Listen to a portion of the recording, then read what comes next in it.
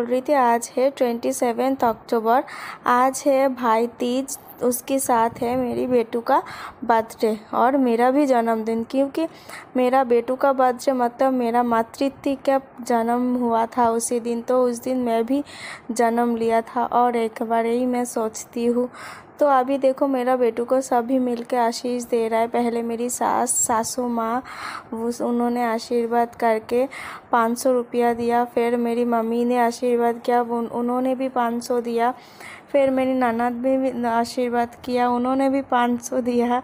मैं किया, मैं आशीर्वाद करके मेरे पास इतना पैसा नहीं था, मैं सौ रुपया और उसकी जो थाली सजाई थी वो दिया था, जैसे कपड़ा, कुछ खाने का चीज़ मेरा बेटू जैसे खाने बहुत पसंद करता है तो खाने का स्नैक्स कुछ दिया, फिर उसका पापा ने डैडा ने आशीर्वाद किया, उन्होंने भी पाँच सौ रुपया दिया तो मज़ा ही आया था मेरा बेटू का।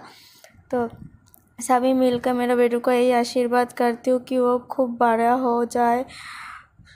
इंसान बने, एक इंसान की तरह और कुछ नहीं मांगना, जैसे बड़ा आदमी बनता है, बड़ा आदमी बहुत नहीं बनना। बस दूसरों को मदद करे, यही चाहती हूँ।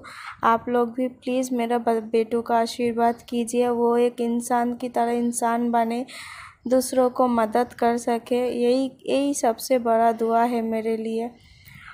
तो यही है। आज दोपहर हुआ, आशीर्वाद पर्व। फिर लंच टाइम आ रहा है। अभी लंच में देखो क्या क्या मैं प्लेट सजाई। और ये है मेरी ससुर जी ये